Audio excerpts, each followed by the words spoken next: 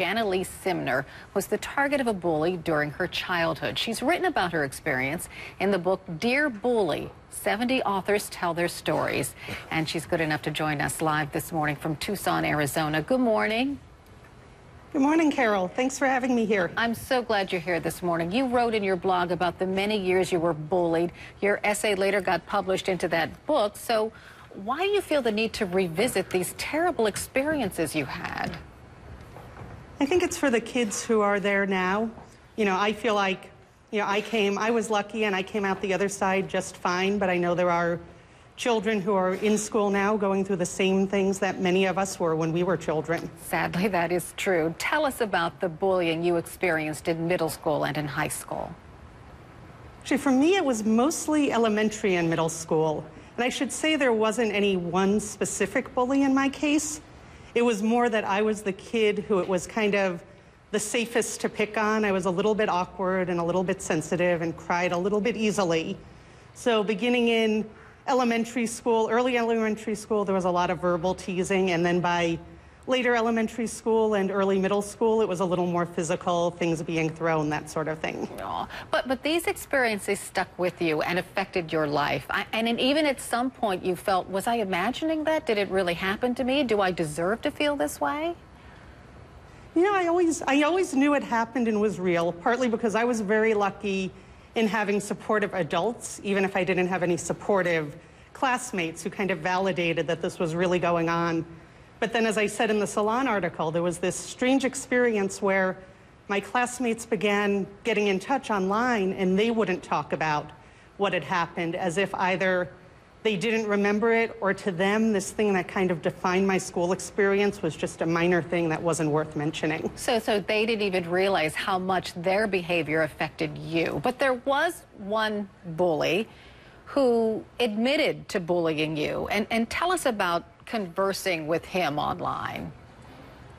And that was really startling. I got an email from him saying, you know, I was in, you know, in fourth grade, I was in so and so's class, and I remember a Jenny Simner. Was that you?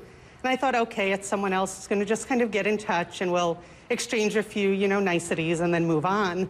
So I, we compared notes and confirmed that we had been in this class together. And then he actually said, which completely surprised me, that you know, he remembered that he had teased me.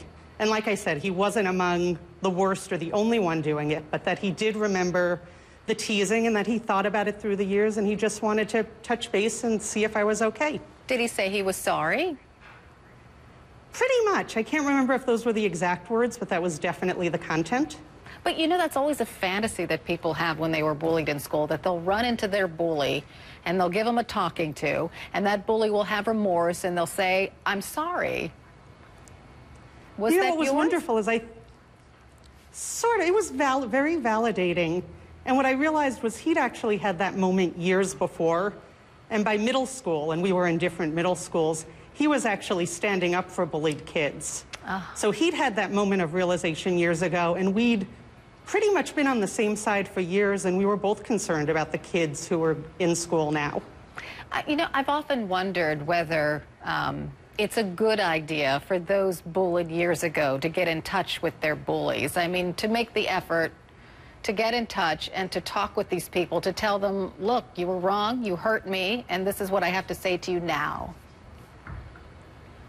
You know, I don't know if, if he hadn't gotten in touch, I wouldn't have gone around emailing people who bullied me. I think the best way of sort of confronting the past is living well in the present. And I think I've been doing that, you know, through my writing and through my life. So, lastly, what advice would you give parents who have a, a child in school who's being bullied?